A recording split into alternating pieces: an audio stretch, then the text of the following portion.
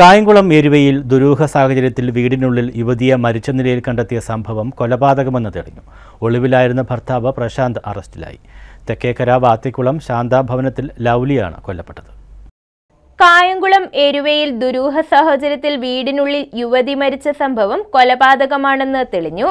ഒളിവിലായിരുന്ന ഭർത്താവിനെ അറസ്റ്റ് ചെയ്തു. തെക്കേക്കര വാത്തിക്കുളം ശാന്ത ഭവനത്തിൽ ലൗലിയാണ് കൊല്ലപ്പെട്ടത്.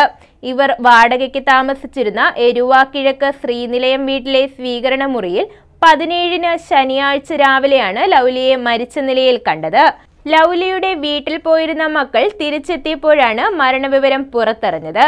യുവതിയെ കഴുത്തുഞെരിച്ച് ശ്വാസം മുട്ടിച്ചാണ് കൊലപ്പെടുത്തിയതെന്ന് പോസ്റ്റ്മോർട്ടത്തിൽ സ്ഥിരീകരിച്ചിരുന്നു. ഭർത്താവ് പ്രശാന്ത് ലൗലിയെ കൊലപ്പെടുത്തിയ ശേഷം ഒളിവിൽ പോവുകയായിരുന്നു. കായംകുളം സി ഐ ഗിരിലാലിന്റെ നേതൃത്വത്തിലുള്ള പോലീസ് സംഘമാണ് പ്രശാന്തിനെ പിടികൂടിയത്. പ്രതിയെ കായംകുളം താലൂക്ക് ഹോസ്പിറ്റലിൽ എത്തിച്ച് മെഡിക്കൽ പരിശോധനയ്ക്ക് വിധേയമാക്കി. കോടതിയിൽ ഹാജരാക്കിയ പ്രതിയെ റിമാൻഡ് ചെയ്തു. News bureau Kayamkulam.